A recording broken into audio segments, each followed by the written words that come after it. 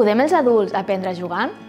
Potser direu que això és cosa dels infants i que els adults ens hem de dedicar a coses serioses.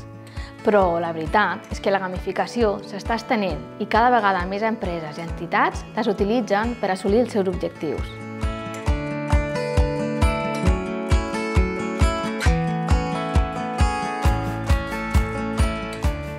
La gamificació consisteix en aplicar conceptes propis dels jocs a espais no lúdics, com seria una classe de la universitat, una reunió d'empresa o una tutoria amb un usuari.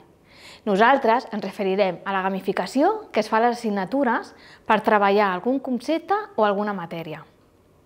Introduir elements lúdics a les formacions d'educació social i treball social és una manera de treballar amb eines i recursos que els futurs professionals podran utilitzar després en el seu dia a dia, ja que cada vegada s'és més conscient dels beneficis que comporta. A continuació, enumerarem alguns d'ells. Augmenta la motivació. A les persones ens agrada passar-ho bé i jugar acostuma a engrescar a la majoria de persones.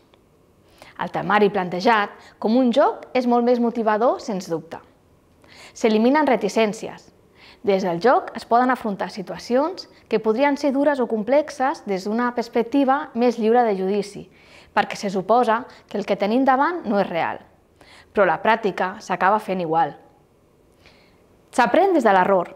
Com als videojocs, s'accepta de manera oberta que una prova o activitat no se superi a la primera. Per tant, s'aprèn de l'errada i es torna a intentar amb nous recursos i estratègies. Fomenta valors.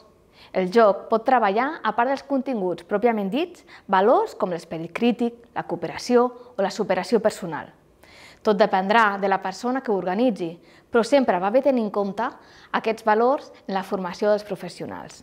Els aprenentatges són significatius, és a dir, com que estan aplicats a una realitat, queden contextualitzats i es retenen amb major facilitat. Estan relacionats entre si i no són conceptes aïllats. Són propostes dinàmiques. Normalment, jugar implica moure's, parlar amb companys i companyes i fer coses diferents a les que estem acostumats a fer a les aules. Aquest punt de sorpresa acostuma a agradar força. I finalment, podem crear jocs del que vulguem.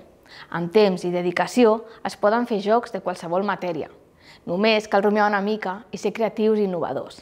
Tot i que la gamificació no és l'única metodologia que s'ha d'utilitzar a les aules, incorporar-ho afegeix un aire fresc que molts estudiants agraeixen. Fer coses noves enriqueix els alumnes i també els professors. La gamificació ofereix un univers d'opcions que no ens acabarem. I tu, t'apuntes a jugar?